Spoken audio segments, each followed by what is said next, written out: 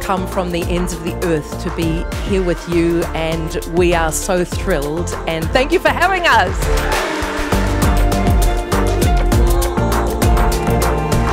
If we want to empower the powerless, perhaps we also need to question our belief in the power of storytelling. We're members of the collective called Pussy Riot. I'm proud to be here among the screenwriters from all over the world. Slow down. Okay. We have a lot of stuff to get through.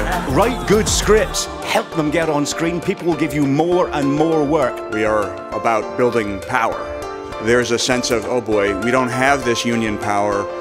What does this mean to us? You have to build the power in order to move ahead.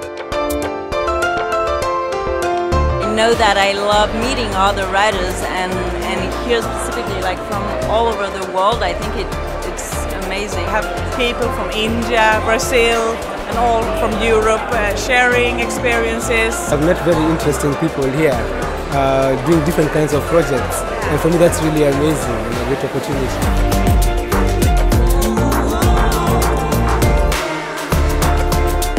Politicians in Israel uh, were trying to portray us as leftist traitors.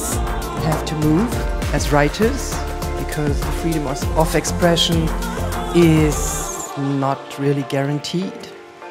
And if we don't fight for it, nobody will.